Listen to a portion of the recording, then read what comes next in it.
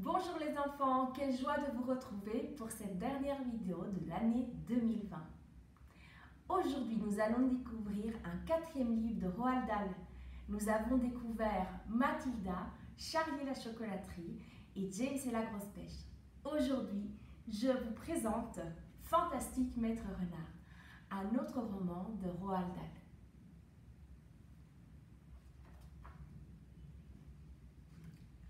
Dans une vallée vivaient trois fermiers. Ils s'appelaient Bogis, Buns et Bean. Bogis, il élevait des poulets. Il était horriblement gros. Et tous les jours, au petit déjeuner, il mangeait trois poulets cuits à la cocotte avec des croquettes. Buns, lui, élevait des oies. Il était tout petit. Et pour le petit déjeuner, il mangeait de beignets de foie d'oie. Le dernier, Bean, avait des dindes et il élevait ses dindes dans un gigantesque verger. Tous les jours, il buvait un immonde cidre de pomme. C'était lui le plus intelligent. Les enfants qui habitaient dans la vallée chantaient même une petite chanson à propos de ces trois fermiers. Buns, Bean, Boggis, le gros, le maigre, le petit, les comme des poux sont des vilains grigous.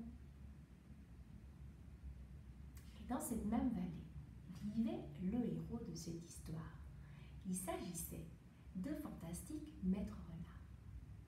Il vivait au-dessus d'une colline, au fond d'un trou, en dessous d'un grand arbre. Mais il ne vivait pas seul. Il vivait avec Madame Renard et leurs quatre renardeaux. Tous les soirs, dès que la nuit tombait, Maître Renard disait à son épouse Alors, mon ami, que veux-tu pour dîner? Un poulet dodu de chez Boris, un canard ou une noix de chez Buns ou une belle dinde de chez Bean Et Dame Renard lui faisait sa petite commande. Il faut savoir que Maître Renard était très intelligent et lorsqu'il allait chasser, il se mettait toujours face au vent, de sorte que si l'un des fermiers se postait pour essayer de lui tirer dessus avec son fusil, et eh le vent lui apportait son odeur. Et ainsi, Maître Renard pouvait s'échapper et euh, ne pas se faire tirer dessus par les fermiers. Vous vous imaginez bien que les fermiers, eh ils n'étaient pas très contents. Et très révolté de ne pas pouvoir attraper le renard. Un jour, euh, vous vous souvenez, euh, euh, Bin, qui était le plus intelligent, propose d'aller se poster devant le terrier de Maître Renard afin de pouvoir l'attraper à la sortie de son terrier. C'est là que je vous lis l'extrait. C'est le chapitre 3 qui s'intitule La fusillade.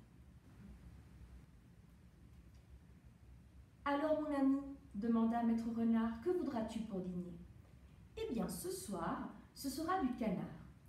Veux-tu bien nous rapporter deux canards dodus, un pour toi et moi et un pour les enfants? Va pour des canards. Chez Buns, c'est le mieux, dit Maître Renard. Fais bien attention, dit Dame Renard. Mon ami, je peux sentir ces crétins à un kilomètre. J'arrive même à les reconnaître, chacun à leur odeur. Bogis dégage une odeur répugnante de poulet avarié. Buns empeste les foies d'oie. Quant à Bean, des déroulants de cidre flottent dans son sillage comme des gaz toxiques. Oui, mais sois prudent, dit Dame Renard. Tu sais qu'ils t'attendent tous les trois. Ne t'inquiète pas pour moi, dit Maître Renard. À bientôt. Maître Renard n'aurait pas été si sûr de lui s'il avait su exactement où l'attendaient les trois fermiers à l'instant même. Ils se trouvaient juste devant l'entrée du terrier, chacun tapis derrière un arbre, le fusil chargé. Et de plus, ils avaient très soigneusement choisi leur place, après s'être assurés que le vent ne soufflait pas vers le terrier, mais en sens contraire. Ils ne risquaient pas d'être trahis par leur odeur. Maître Renard grimpa le tunnel obscur jusqu'à l'entrée de son terrier. Son beau museau pointu surgit dans la nuit sombre et il se mit à flairer. Il avança un centimètre, deux, et s'arrêta. il flaira une fois. Il était toujours particulièrement prudent en sortant de son trou. Il avança d'un autre centimètre. Il était à moitié sorti maintenant. Sa truffe frémissait de tous côtés, humant, flairant le danger, sans résultat.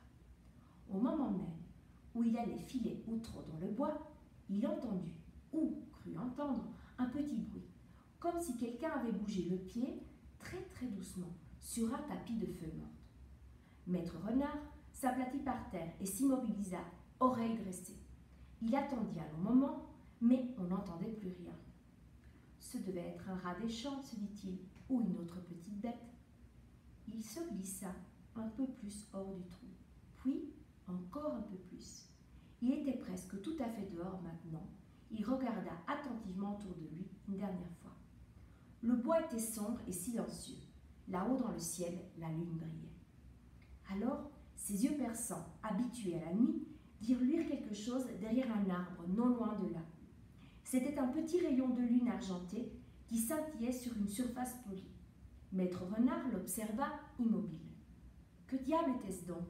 Maintenant cela bougeait, cela se dressait. Grand Dieu, non Le canon d'un fusil Vif comme l'éclair, Maître Renard rentra d'un bond dans son trou, et au même instant, on lui dit que la forêt entière explosait autour de lui. La fusée de trois fusils s'éleva dans la nuit. Bogis, Buns et Bean sortirent de derrière leur arbre et s'approchèrent du trou. On l'a eu demanda Bean. L'un d'eux s'éclaira, éclaira le terri de sa torche électrique. Et là, sur le sol, dans le rond de lumière, dépassant à moitié du trou, gisaient les pauvres restes déchiquetés et ensanglantés d'une queue de renard. Bin la ramassa. On a la queue, mais pas le renard, dit-il, en la jetant en loin. Zut et flûte s'écria Bogis. On a tiré trop tard. On aurait dû tirer quand il a sorti la tête. Maintenant, il réfléchira à deux fois avant de la sortir, dit Buns. Bin tira un flacon de sucre, de cidre, et but à la bouteille. Puis il dit La faim le fera sortir, mais pas avant trois jours au moins. Je ne vais pas attendre ici, assis, à ne rien faire. Creusons et débusquons-le. Ah, dit Bogis, voilà qui est bien parlé. On peut le débusquer en deux heures, on sait qu'il est là. Il y a sans doute toute la famille au fond de ce trou, dit Buns.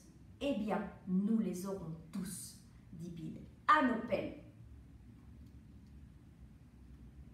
Voilà les enfants, c'était un extrait de Fantastique Maître Renard. On en discutera ensemble pendant nos visioconférences.